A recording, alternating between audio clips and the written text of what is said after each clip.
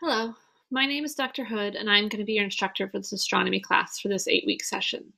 I wanted to create a short video to introduce myself and to briefly talk about what we'll be doing um, during this term. So, I created a few slides that I'd like to uh, share with you very quickly and talk a little bit about myself. So, as I mentioned, my name is Dr. Hood, um, Dr. Carol Hood. So, my husband, um, Mike Hood, is the uh, co chair of the Earth Science and Astronomy Department. So, some of you may have had his classes before, some of you may have seen him around um, Mount SAC or the department before.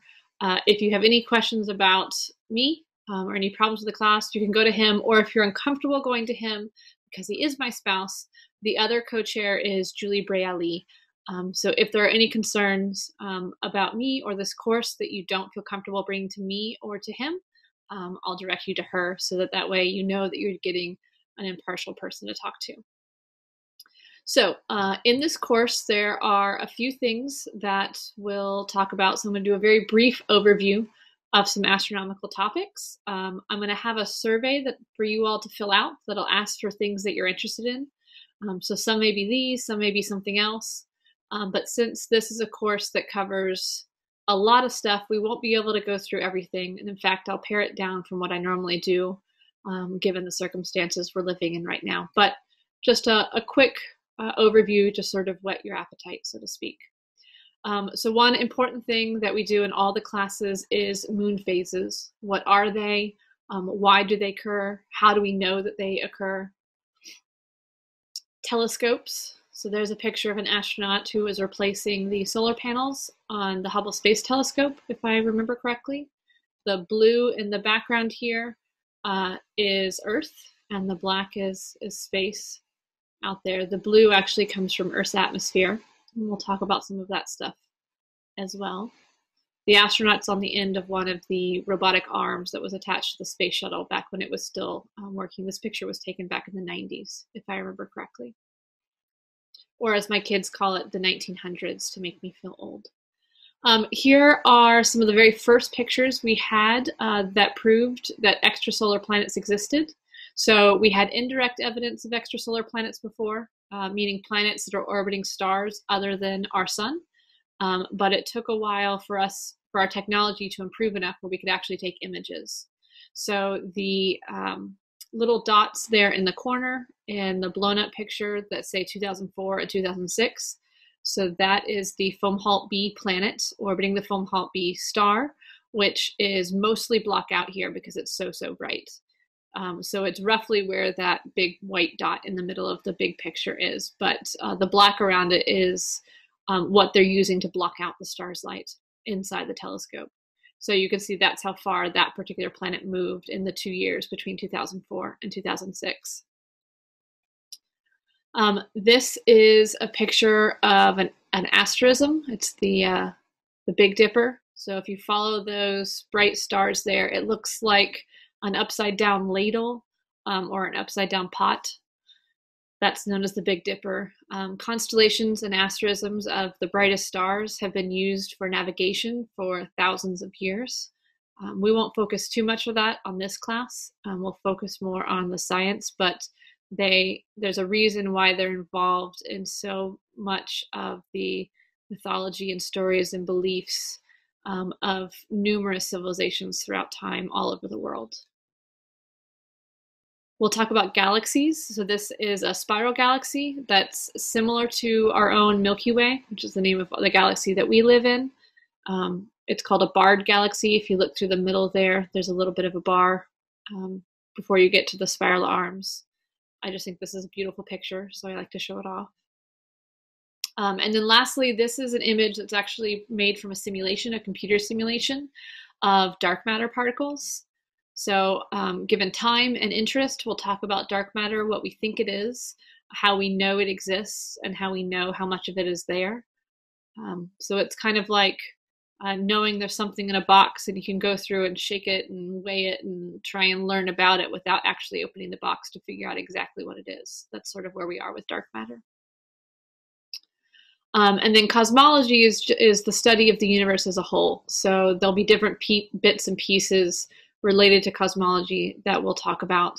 So if there's anything that specifically interests you, um, put that in the survey and we'll see if we can't um, find a way to get to that particular topic this term also.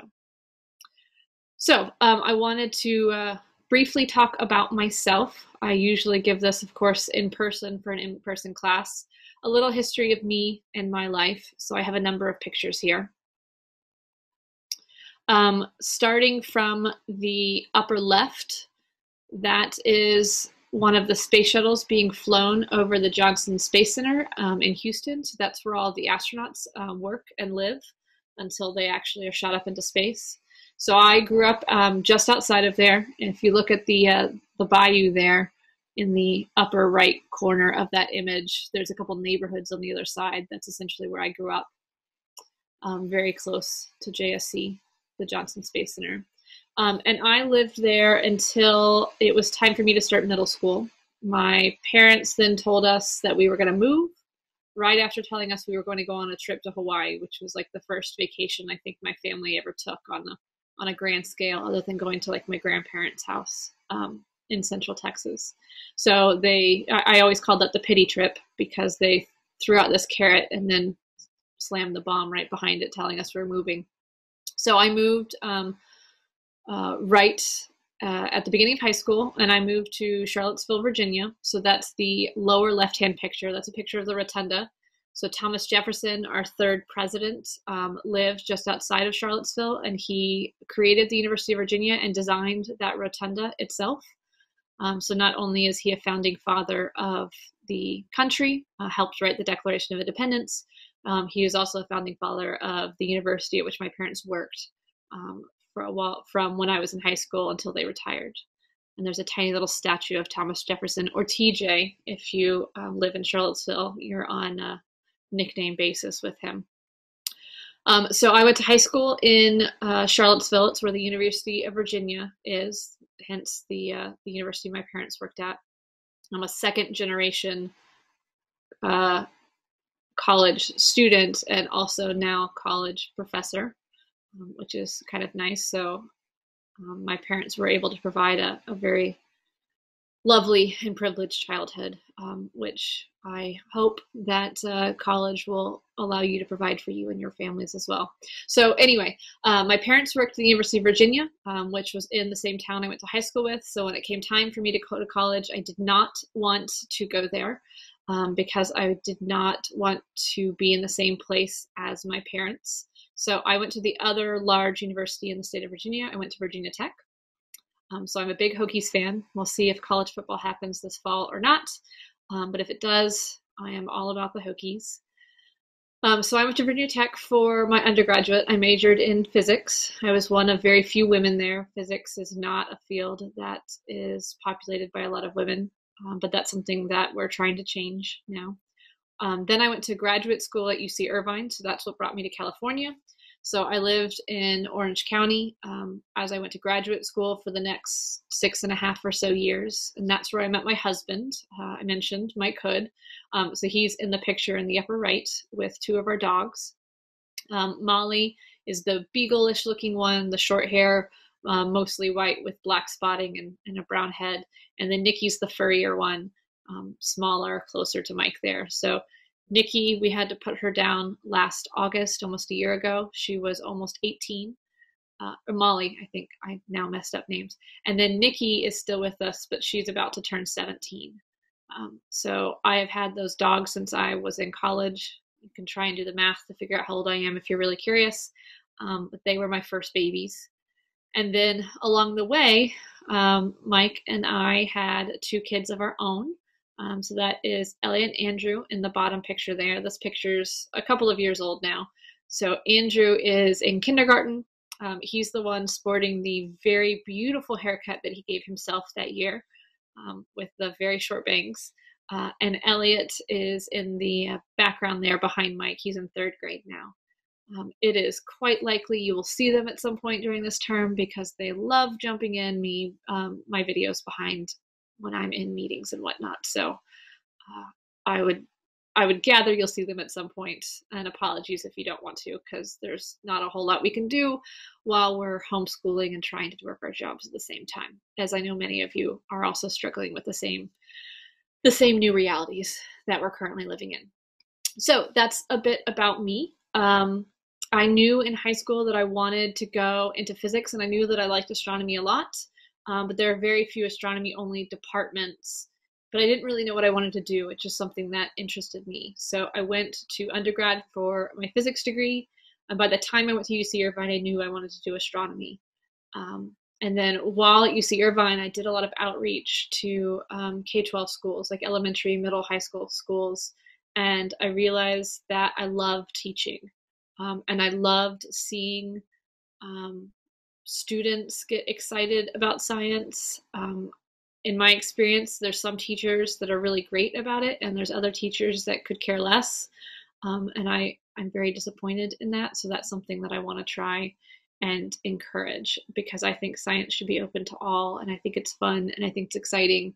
And I think that memorizing a whole bunch of stuff is not science. So that is not what we're going to be doing in this class. So if that's what you're looking for, I'm sorry. Um, that is why I hated biology because it was just memorize a whole bunch of stuff uh, and I was not a fan when I took school. I think there are some instructors who are changing that, but that's what it was, unfortunately for me. Um, whereas astronomy was uh, was much more open and inviting, and I could ask questions and I could find answers, and it wasn't just regurgitating facts all the time. So um, that brings me a little bit more into how I will structure this class. So there's been a lot of research on how people learn things, anything um, one of the reasons why I love working with young kids is because they're still curious and they still ask so many questions. Um, they're still open to learning because they're still learning everything about the world around them. They're like the perfect little scientists. So um, there have been a couple of scholars that have come up with various sort of hierarchies on how people learn things. Um, and I will structure this class based on uh, the most research, the most recent research on on exactly how people learn. Um, so Bloom's taxonomy is one, and Webb's de- depth of knowledge is another, which I'll show you in a second.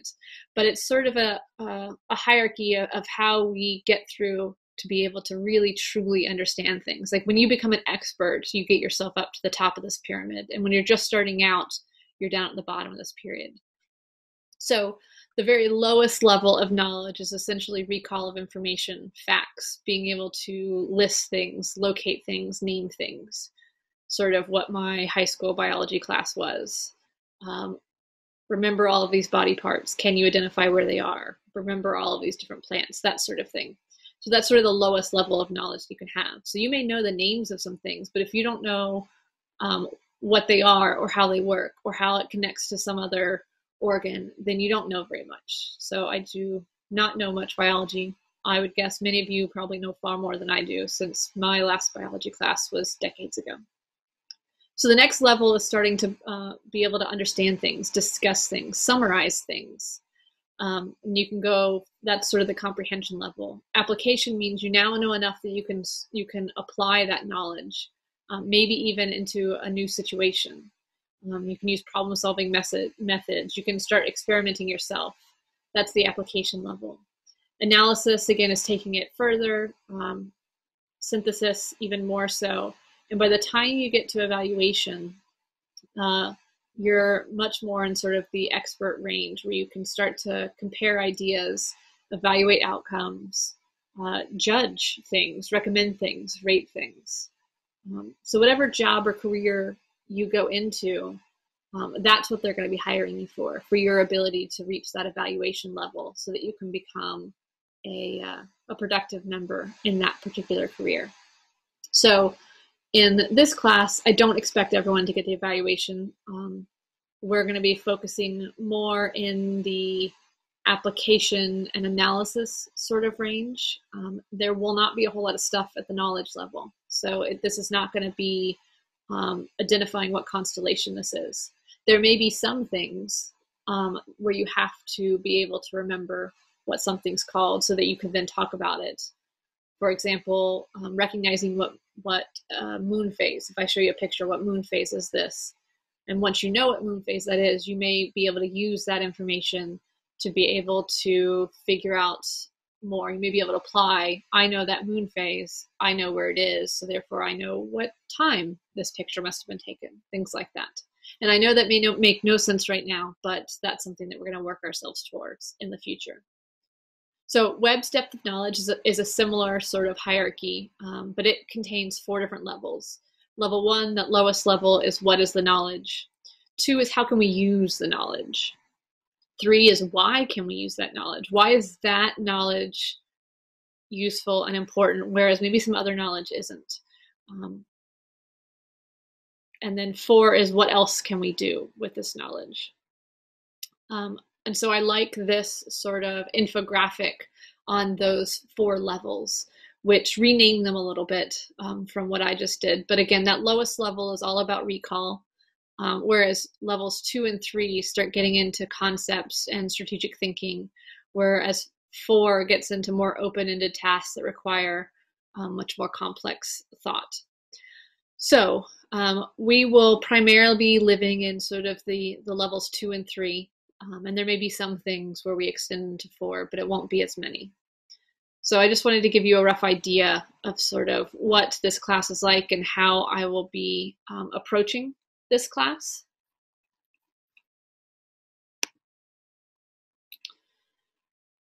Um, and I will provide a little bit more information in another video on Monday once I have the rest of Canvas set up for you all.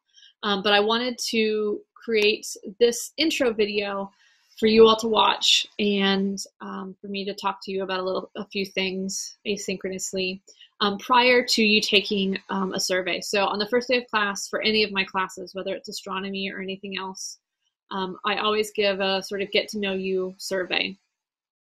And um, this time, because of the situation we're living in, I've added some technology access questions so that I can get an idea of the technology that you have access to um, and any limitations that you're running into, any problems um, so that I can structure the class to be as effective as possible.